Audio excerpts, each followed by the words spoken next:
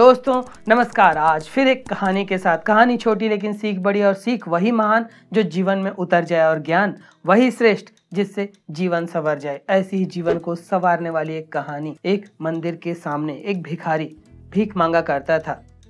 अब मंदिर का वह जो सत्र चल रहा था, वहाँ ज़्यादा भीड़ भाड़ उस दिन नहीं थी, क्योंकि कोई विशेष दिन नहीं था।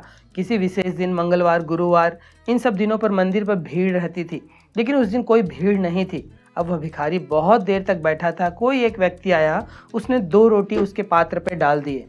अब सूखी रोटी थी। खाए तो कैसे खाए? सूखी रोटी उसके भीतर जाती नहीं थी।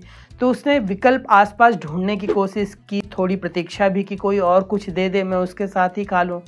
उसे कुछ भी भीख नहीं मिलता है। तो वह दो रोटी को उठाकर अपने सारे पात्र, अपने सारे झोले वगैरह को उठाकर पास के एक रेस्टोरेंट में जाता है, जो ढाबा होता है। अब ढाबा का मालिक ज्ञानी बाबा। ज्ञानी बाबा बहुत चालाक व्यक्ति। हवा का भी, पानी का भी, ऑक्सीजन का भी, हर एक चीज़ का वो दाम वसूल कर लें, इस तरह के ढाबा संचालक थे वे। अब यह भिखारी उनके पास पहुँचता है और सब्ज़ी की गुजारिश करता है कि थोड़ी सी सब्ज़ी मिल जाए। तब यह ज्ञानी बाबा क्रोध में आकर, एक तो भिखारी हो, ऊपर से यहाँ आप सब्ज़ी फ्री की मांगने आ गए हो। दाम दो, उसके बदले सब्ज़ी मिल जाएगी। मैं फ्री में कुछ भी नहीं देता। यह कहकर डांट कर उसे वहाँ से भगा देते हैं। अब भिखारी थोड़ी देर उस ढाबा के सामने ही प्रतीक्षा करता है कि शायद कोई दानवीर उसे सब्ज़ी, थोड़ी सी सब्ज़ी दे दे या बची खुची किसी के में से मैं सब्ज़ी ले लूँ। लेकिन ऐसा होता नहीं है। अब सब्ज़ियाँ बन रही होती हैं। हर तरह की सब्ज़ी बन रही होती है, उसकी खुशबू बाहर तक आती है और वह धीरे से जाता है रसोई घर की तरफ़ और देखता है। तब वहाँ देखता है कि सब्ज़ियाँ बन रही होती है उसमें से भाप निकल रही होती है। तब यह सोचता है कि क्यों ना मैं अपनी रोटी को इस निकल रही भाप के ऊपर रख दूँ तो रोटी थोड़ी गीली भी हो जाएगी और साथ ही जो खाने की खुशबू है, जो सब्ज़ी की खुशबू है, वह रोटी पर आ जाएगी।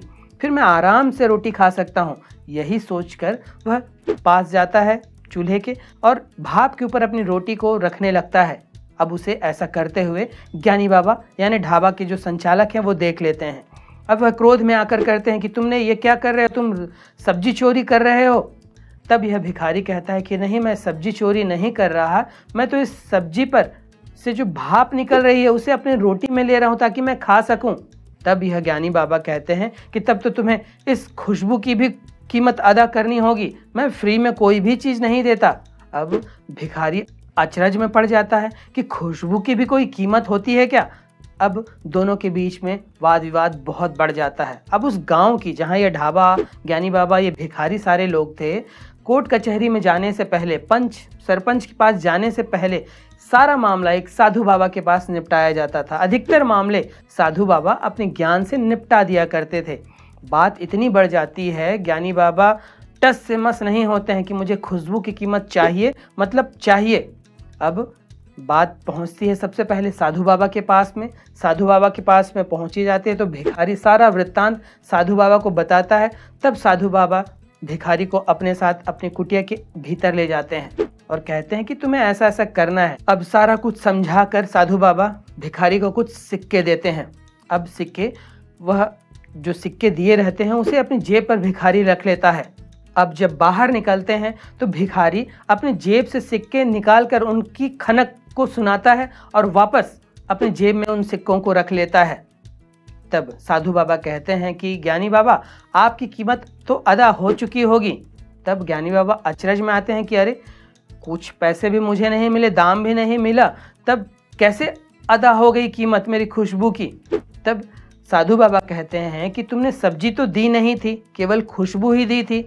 तब हमने भी तुमको सिक्कों की खनक ही दे दी है। इसकी भी कीमत होती है। अब तुम भाप के बदले में, खुशबू के बदले में तुम्हें सिक्कों की खनक ही मिलेगी। बोलो तो और दे दें। यह कहकर उसे वहाँ चुप कराकर, क्योंकि सारे गाँव के लोग भी रहते हैं और साधु बाबा का यह न्याय सबको पसंद आता है।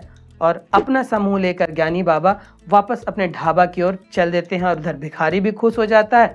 फिर सारे गाँव वाले मिलकर भिखारी को उस रोटी के साथ सब्ज़ी क्या अन्य कई चीज़ लाकर खिलाते हैं और साधु बाबा का बहुत बहुत धन्यवाद देते हुए भिखारी वहाँ से विदा होता है। दोस्तों, कहानी छोटी सी है, लेकिन किसी भी समस्या का हल अगर सही चतुराई रखी जाए, सही समझ रखी जाए और सही समय पर सही निर्णय लिए जाए तो हमें हर समस्या का निदान मिल सकता है। साथ ही चालाक व्यक्तियों के साथ हमेशा चालाकी ही हो जाती है। कहते हैं ना, चोरी का धन मोरी में जाए, अर्थात गलत ढंग से की हुई कमाई गलत तरीके से ही जाती है। जिस तरह ज्ञानी बाबा अपने ज्ञान के दंभ में आकर जिस तरह भिखारी को लूटना चाहते थे, एक भिखारी को, जिसके पास कुछ भी नहीं था, उस दो रोटी के सिवा, उससे वह लूटना चाहते थे।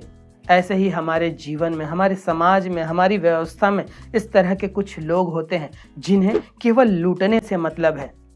एक परसेंट, दो परसेंट, पाँच परसेंट की लूट, सीधी लूट, भ्रष्टाचार वाली लूट, हर तरह की लूट ये मचाए रखते हैं।